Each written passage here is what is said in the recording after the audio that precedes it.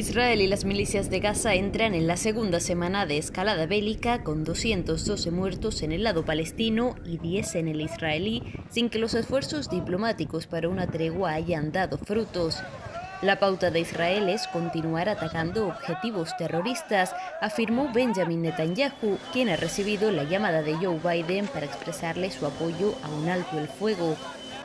mientras el enviado estadounidense para mediar en el conflicto lleva cuatro días en el país sin lograr ningún compromiso que permita vislumbrar una tregua y este lunes se reunió con el presidente palestino Mahmoud Abbas, aunque este no tiene capacidad de influencia en Gaza controlada por el movimiento islamista Hamas. El ejército israelí volvió a bombardear Gaza con intensidad durante la madrugada, sumando tres víctimas mortales, aunque la víspera fue la jornada más letal en la franja con 42 civiles muertos.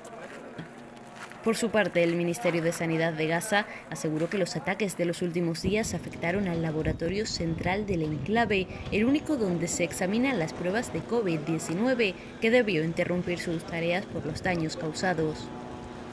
Tras una semana de enfrentamientos, el saldo de víctimas en el enclave ascendía a 212 muertos palestinos, entre ellos 61 menores y 35 mujeres, y 1.305 heridos en el intercambio de fuego.